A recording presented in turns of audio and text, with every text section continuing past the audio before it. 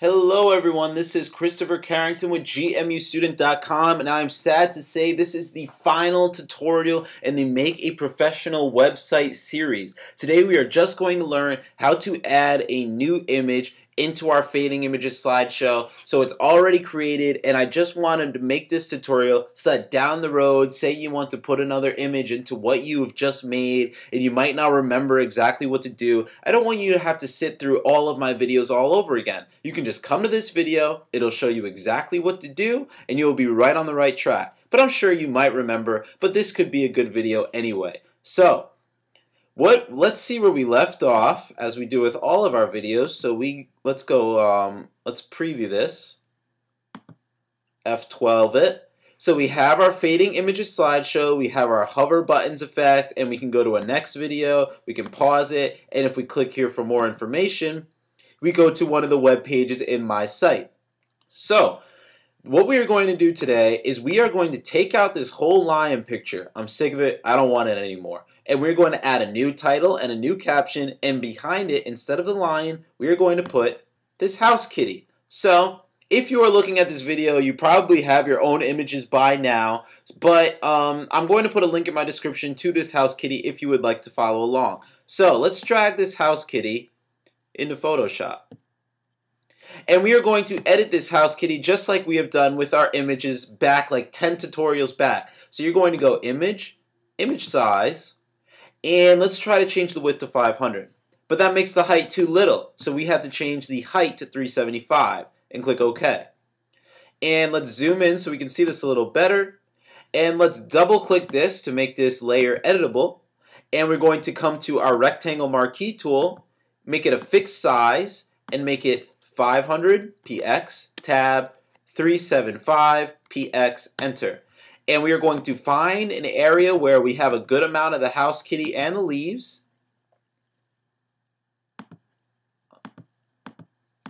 I'm pretty happy with that. So now I'm going to go select, inverse, delete, Command and Control D.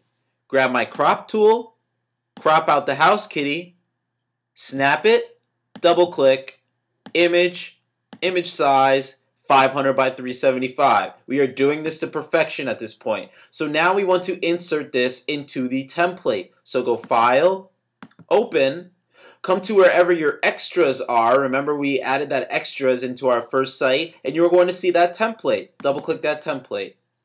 Now double click F, get out of this full screen so that we can see our tabs and we're going to drag that um, we're going to drag that house kitty in. So grab that marquee tool, drag the house kitty into the template, let go, drag that layer one down, and then snap it.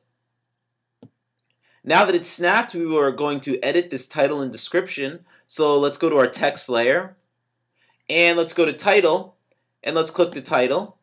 Highlight everything by Command and Control A, and let's type in house cat, and check mark, and let's go down to our description, text layer, click right in there, Command and Control A, and let's say this is a nice picture of a house cat playing in the leaves. Not sure if I spelled leaves right, but I really do not care. So now what we are going to do is we're going to save this. So go File, Save As, and let's call this house underscore cat and let's save it as a PNG file.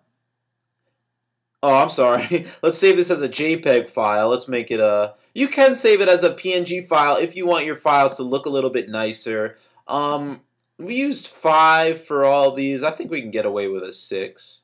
That's not that much bigger, and it does look a little bit better. So I'm going to go with a 6 this time and click OK. So now that we have this saved, we can come into Flash. Let's open up Flash and I'm in I'm in my essentials panel and I'm going to go to my library over here. So let's go to our image 2 layer and let's unlock this layer. And we are going to, it, this is the layer with the lion. As I said, I did not want that lion anymore. So I'm going to show you the steps to insert a new image over that. So we're going to go File, Import, Import to Library, grab that house cat, and click Open. Now when you see house cat in your library, and make sure you are on that right layer, so you're in that image 2 layer, and let's come to wherever that um wherever that image started. So let's go to frame 20, and let's drag that house cat in. And let's go modify, convert to symbol. Uh, first, sorry about that, sorry about that. Let's click image 2, and let's click delete. Let's get rid of that symbol, and we're going to make this the new symbol image 2. It doesn't overwrite here, so you got to go modify, convert to symbol, and let's call it image underscore 2. Make sure it's a graphic. Click OK. And let's drag this onto the canvas. Make sure it's right in the middle. And all we have to do is hit Command and Control C and click where each one of these keyframes are and go Edit, Paste in Place, click, Edit, Paste in Place, and click frame 60, edit, paste in place. Now the classic tweens stay there, so all you have to do, your last step, is click right here, and let's go to our properties panel, and make sure you click the image, go to your alpha settings, and make them zero. And we are all done, so if you go File, Publish Preview, Flash, and give it a second,